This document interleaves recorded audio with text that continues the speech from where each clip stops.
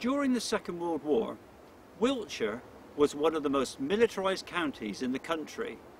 And it's easy to understand why when you consider that the whole of Salisbury Plain, the Army's premier training ground, lies within its boundaries. But the story of Wiltshire at war isn't just about the Army or training. It was here that weapons were developed, tactics tried and tested, and operations planned and mounted. British, Commonwealth and American troops all made use of the varied facilities and like every county, the civil population also played their part. In this film, we shall be travelling around the county, visiting places that have a particular association with the war effort, while at the same time meeting people who either worked or lived here.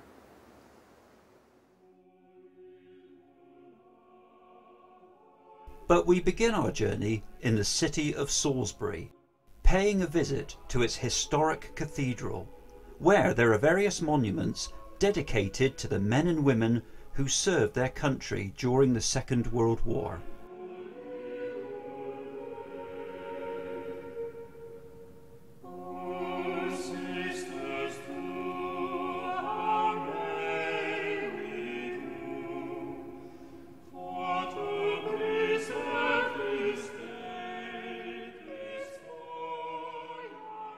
These include a series of beautiful windows which were erected in 1949 and dedicated to the people of the city who gave their lives in the war.